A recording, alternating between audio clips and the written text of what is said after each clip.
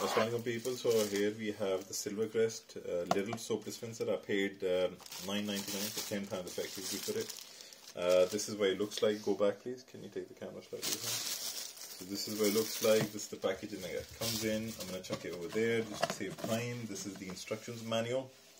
Um, here comes the batteries. For the batteries you'll need a knife or some sort of a uh, thingy to open them up. I'm gonna open I'm using a knife. Can be dangerous, so just be careful what you're doing.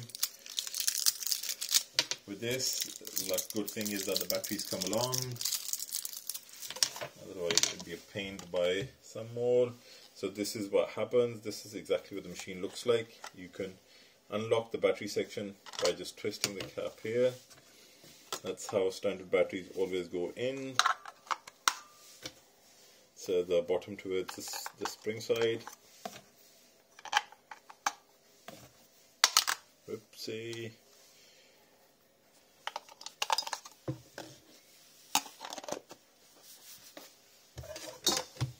Okay, here's the machine, the tab. What I do now is we have to refill and this is it's a, it's quite a simple thing but if you don't know it's slightly tricky but the sticker says it all. So this is where you refill. I bought this hand wash from um, Lidlsville so I'll just put the bottle upside down. Some bottles fit right in this one doesn't but still does the job so happy with it. Now I can't remember last time how much of it went in. I'm guessing it was about three or four hundred mil, but I didn't top the the first one I used completely because I was slightly scared as to how much it effectively takes in.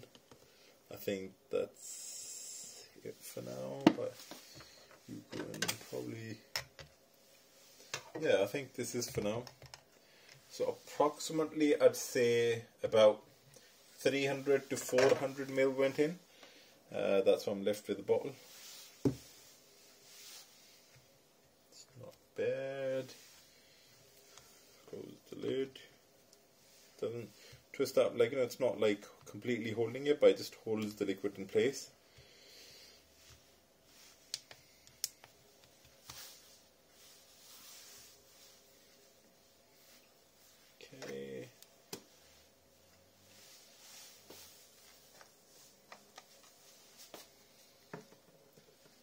No stickers or no tabs here. Should turn on automatically because the last one did.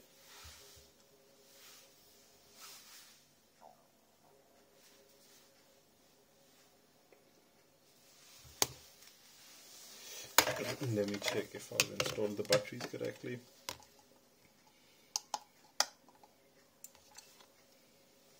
There's no other tab on this either.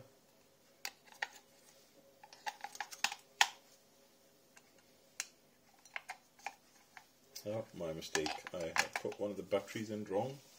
So this is what happens. It turns on automatically. Now I'll just quickly put it back before it starts dispensing the soap. So this is the battery indicator and this is the liquid indicator. Now if you want to see me working it, let me try that too.